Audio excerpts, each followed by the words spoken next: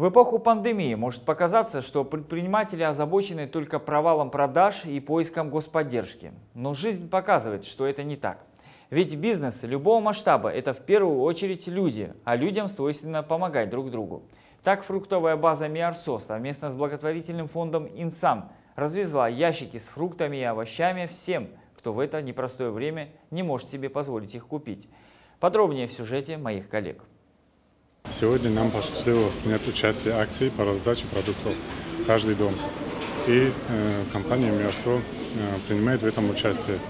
И призываем остальных, кто имеет возможность принять такое же участие. И по, по воле Всевышнего Аллаха мы надеемся, что в дальнейшем мы тоже будем эту акцию проводить. С самого начала режима самоизоляции небезразличные люди, бизнесмены, владельцы крупных компаний начали оказывать посильную помощь людям, которые оказались в сложной жизненной ситуации. Многие предприниматели предпочитают помогать через фонд «Инсан», который хорошо зарекомендовал себя, организуя десятки масштабно-благотворительных акций. Представители оптово-розничного склада «Миарсо» использовали возможности «Инсана», ведь в списках, составленных работниками фонда, тысячи реально нуждающихся людей, которые ждут помощи.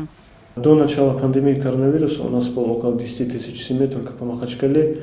И э, с момента начала пандемии, конечно, число обращаемых людей в фонд возросло. Мы только за апрель месяц приняли 109 990 звонков э, подопечных людей.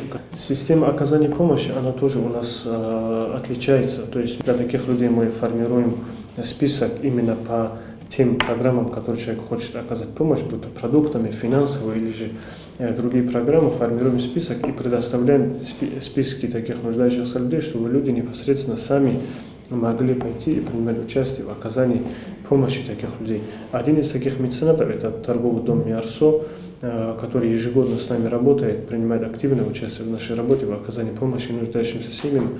У каждого подопечного своя история жизни, своя проблема, своя боль. Но всех объединяет одно – чувство благодарности и осознание того, что земляки с добрым сердцем помнят о них и не бросают в беде. Ведь о них никогда не забывают и помогают именно тогда, когда это бывает нужно больше всего.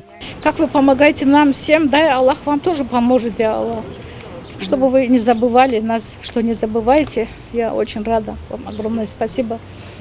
Я рада, что есть такие люди, которые понимают, видят, слышат людей, которые... Хочу выразить свою благодарность предпринимателям и фонду «Инсан», которые помогают, помогли, помогают людям нуждающимся, тем более в такие месяцы вот, без работы, когда люди остались.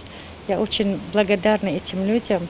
Для каждого подопечного фонда «Инсан» оптово-розничный склад «Миарсо» выделил по ящику ассорти фруктов, цитрусовых, а также мешок картошки и лука. Благодарю предпринимателей, кто это э, создал, кто участвовал, кто это принимал все это. И от души благодарю всех.